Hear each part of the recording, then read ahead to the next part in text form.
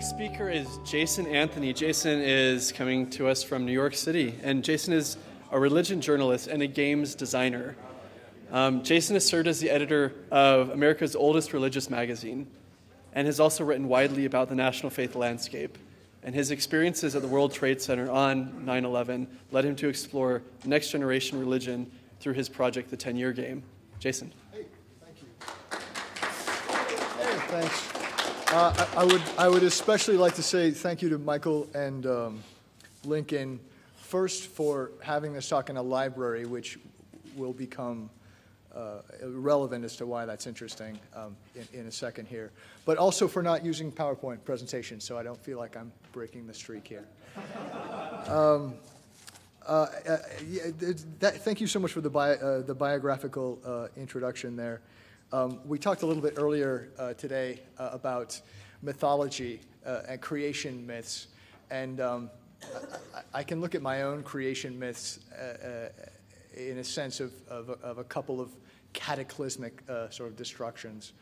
Um, one, of course, was being at the, the, World Trade Center on September 11th. I was a, a, a theater reviewer at the time, uh, working part time, sort of setting up uh, events around town, and I was in the courtyard setting up a, a food tasting that was happening on September 12th, and uh, it was just just intense day. I, I had grown up uh, atheist, agnostic, and um, not only the impact of, of the religious motivations behind September 11th, but also the sort of religious reactions to 9 11 that I witnessed in the city, the prayer booths uh, along Broadway, uh, people's returning to their temples and synagogues uh, and mosques uh, in, in quests for meaning became deeply um, puzzling to me. I, I, didn't understand what religion was, and so I ended up uh, sort of going back to school uh, to become a, relig- a religion journalist. Um, so that was the first sort of destruction. The second destruction is the destruction of the uh, print journalism model. Uh, it, I've been very lucky to continue to work as a journalist, but I have um, been forced to move sort of beyond religion journalism in the, in the past couple of years. Um, uh, a magazine that, that went out to people who went to casinos uh, came up. I, I work at uh, the Time Life building, and uh, one of those magazines uh, sort of needed an editor. And uh, part of my past, I, for several generations, my family has been involved in uh, gambling in legal and illegal ways. And so they, they were in luck. They found a dude who could write and knew about casinos, uh, which got me really thinking about games in this sort of uh, interesting way that, that that's going to kind of fold into this project that we talked about. And then most recently, in the last couple of years, uh, business writing. Uh, there's been a lot of that that's sort of just come across my place. Again, we're as, as there are fewer uh, uh, journalists in the building, um, we're all sort of acquiring new specialties. And uh, one of the questions in covering stock markets earlier, stock markets have come up in a, in a couple of talks today, um, is this experiment. The Wall Street Journal did it for about 14 years, but there, there was this axiom that monkeys throwing darts uh, at a wall of, of stocks would outperform experts selecting uh, stocks, right? Um, and the Wall Street Journal actually they sort of they had computer generated monkeys for a number of years, but there was an actually there was actually a monkey dex that that was uh, started at one point. A six year old female chimpanzee named Raven was actually trained to throw darts, and what they found is, as a matter of fact, corrected for for a number of factors, these monkeys could in fact uh, outperform uh, the experts. Now, are, are these exceptionally smart, gifted monkeys? Uh, probably not. Uh, one of the theories as to, as to why these monkeys could do it is that we are, in a sense, inhibited by our intelligence when we look at complex systems. A primary fallacy that comes into play is that we believe that an increase in information translates into an increase in knowledge. That is to say, we're looking at an incredibly complex system. We have a little bit more information, uh, and so we think we know more, but in fact, that information may be in a, a completely wrong direction. That, that information uh, may be a, a very f- finite amount of information in a very uh, infinitely complex system. Uh, and so we're biased by that in a way that monkeys tossing darts are not. What this plays into is uh, one of my favorite definitions of religion. Quite frankly, I, I don't know what spirituality is. Um, I, I, tend to think of it as a personal form of religion. My thinking is always sort of about the social institutions of religion, so you'll forgive me if I bias in that direction. Uh, one of these beautiful definitions of religion that I, I, I really like, I find very workable, it's from a, a scholar, uh, Gilbert Murray, who was looking at this um, span of religions in the ancient world, uh, is that religion is how we engage with what we do not know uh, not just with our brains, but with our bodies and our social institutions uh, and with each other. Um, not, what we, not only what we do not know, but what we cannot know. Uh, and you'll see the relevance there to a complex system like a, like a stock market. Um, uh, uh, we're talking as, about sort of blue sky uh, transhumanist experience in which sort of more and more becomes possible, well, what's happening tomorrow in your life? Is there, are we ever going to uh, be in a state where we'll know that basic piece of information? Or, or is the world that we inhabit so incredibly complex that there will always be swaths uh, of our lives, very vital swaths of our lives, uh, that we cannot know? So, religion is this holistic way that we engage with what we cannot know. Um, there's another definition of, of religion that I, I, just want to run into really quickly because I think it's been brought up so many times today. One of the first psychologists of religion uh, wrote a book, uh, 1902, I believe, uh, and I'm going to massacre his name, uh, Ernest Murisier, something like that, Ernest Murisier to the unfrenchified. Um, he, he wrote uh, about what he considered to be the religious impulse uh, and it was a very influential book, and it has influenced a lot of religious thinking. And that is that what religion does uh, in the individual and in culture is it creates a unity. Again, we live in this incredibly complex system, and um, religion creates, uh, as Michael pointed out, as, as uh, many uh, uh, speakers today have pointed out, this sort of through line, this narrative, this manageable unity uh, of meaning that we can engage with. Um, how does religion do that? Um, one theory, uh, also uh, widely talked about, is in two ways. Uh, there's logos and there's praxis. Now, almost everything that we've talked about today has been logos, right? Uh, logos is what we believe, and praxis is what we do, right? Logos uh, might be there is no God but Allah and Muhammad is his prophet, or the, the Jews are the chosen people, or uh, America is the site of the new Zion, or um, uh, is Brahman is Atman. These sort of beliefs that help us to create this unity and help us to confront the unknown. But there's this whole other side to religion, the side of praxis, what we do with our bodies, right? Um, and I'll just list something: baptism, fasting, pilgrimage, yogas, uh, incubations uh, all, all, of these ways that we practice our faiths uh, with, with our bodies. And what we find when we look at the praxis side of religion, and I love the term that was brought up earlier. Let me see if I can quickly find it. Um, rituals as performative algorithms. It's fantastic. I love that. Um, uh, what we, we find when we look at the, the logos side of the equation is that logos is in fact robust it gets shared across traditions. Something as simple as fasting, as simple as not eating. Now, dieting, dieting makes sense, right? You know, you want to slim down, look suave, so you, you don't eat. But fasting is this absolutely counterintuitive thing. You know, why would the organism not want to eat? And yet, it is this incredibly robust meditation that gets passed from faith tradition to faith tradition. And so you, you find it in, in almost every uh, faith tradition today. Uh, and, and, and you can see how something simple like that can, can help in these the very fundamental um, objectives of religion, right? Uh, helping us to confront the unknown and helping us to integrate on, on a very uh, non mental level, right? Uh, the fact that through going through a simple process, you are taking into account um, in a meditative fashion, uh, you are listening to everything that's going on, you are putting a stop to the normal course of events by taking on a counterintuitive course of events uh, and, and sort of evaluating and finding a place for uh, what's around you, right?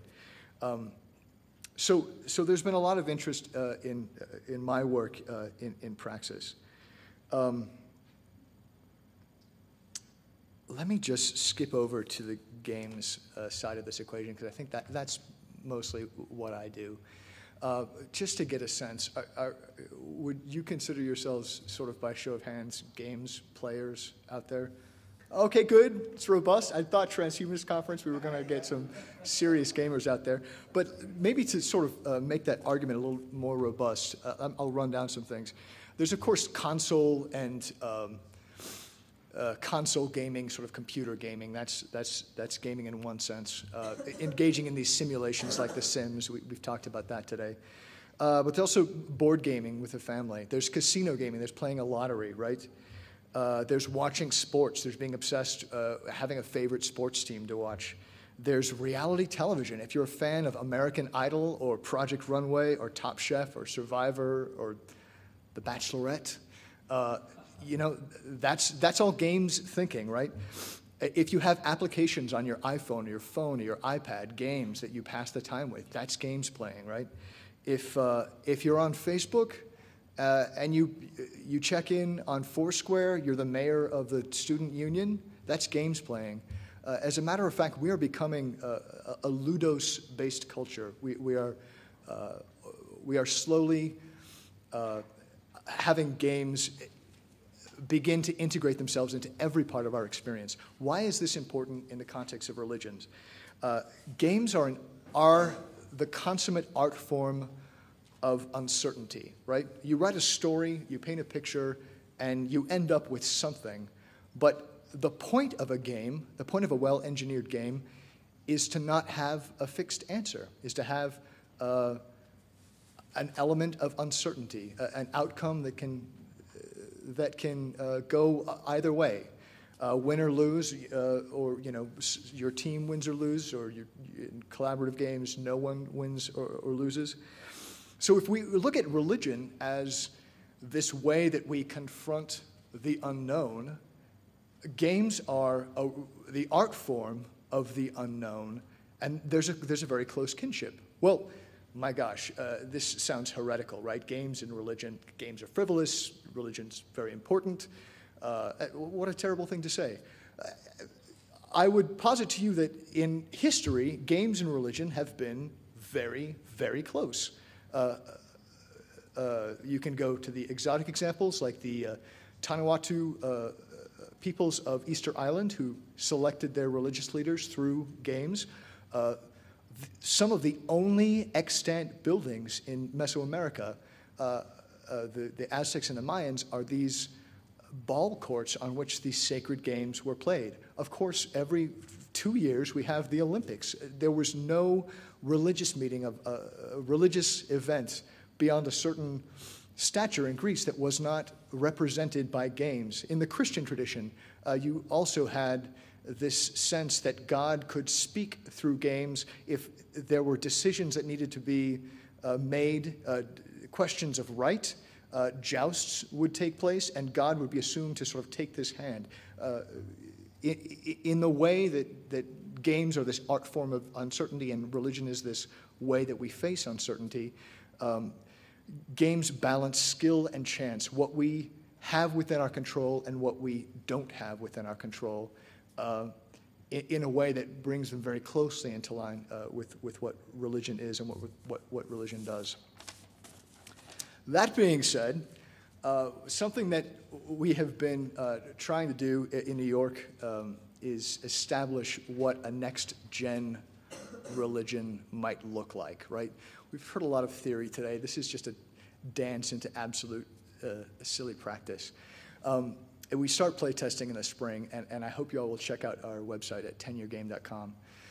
But uh, basically, uh, we're, we are operating on, on these presuppositions of what religion is and what religion does and trying to establish what, what, what a cool religion uh, might be. Um, something that sings the human experience in all of its dimensions. Um, and it's basically taking praxis, which we talked about earlier, that ancient and robust part of religion, not belief at all. I, I hear a lot of people talking about I'm a believer and I'm not a believer.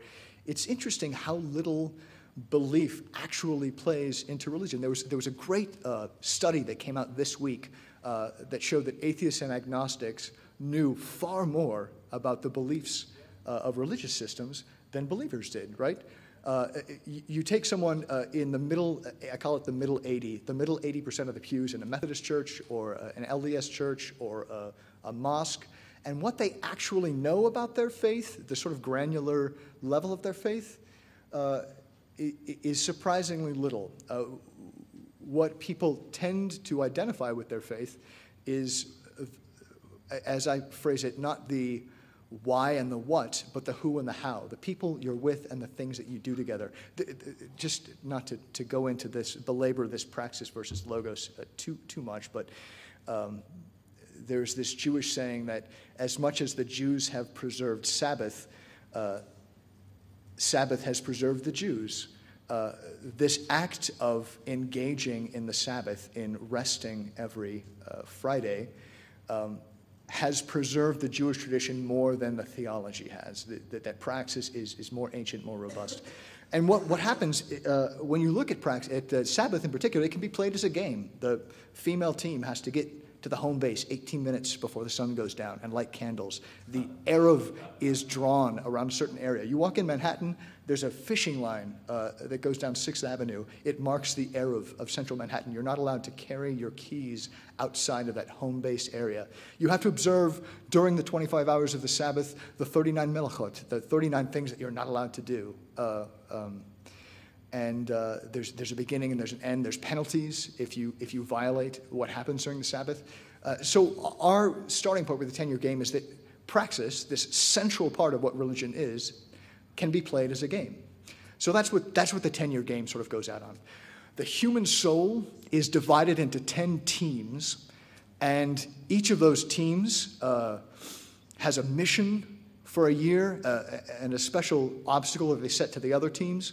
Uh, they collaborate on a liturgical calendar that is played through over the course of the year.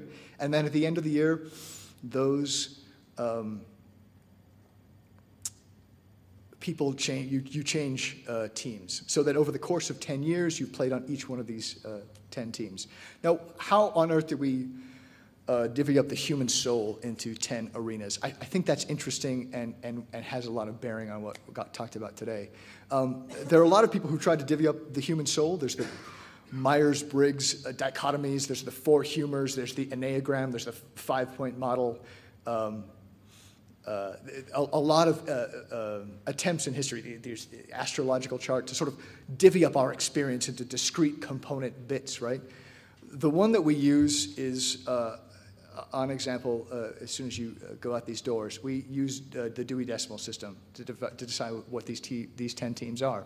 He came up with a system that every single pursuit, interest, ability, uh, or field of knowledge that we could possibly write a book about, that we could possibly express, had a place in this system. And so each of these 10 teams embraces one of the 10 uh, Dewey Decimal divisions and sort of takes that as their sort of metaphorical focus on that one tenth part of themselves. You know, the, the history section is, is about memory and storying. Uh, the technology uh, uh, team is about uh, finding our biological way back to our progenitor Homo habilis, this wiring in ourselves to be able to affect the world around us. Um, uh, Michael talked about storying, and that's the fiction section of the library, this ability to absolutely stray from what is real into what can, what can be. Um, uh, philosophy, social science, you can see that each of these has a sort of a, a metaphorical dimension. And in fact, what we find uh, is that each of these 10 aspects of who we are, what our interests are, have had rich manifestations in the world of religion. Uh, you look at, at history, for example, this idea of memory. Um, uh, that team, it's up to them to sort of create a, a, a, secret mission and a praxis based on this idea of, of history and memory. Well, they, they look into uh, uh, Mexican religious history and you, and, and you look at uh, the Day of the Dead celebrations, right, where we remember those who've gone before. Or you look at uh, Confucianism, which is largely a religion of history, uh, looking at a, a, time that was ideal in China's history, looking at those history books, um, honoring the dead through certain rituals.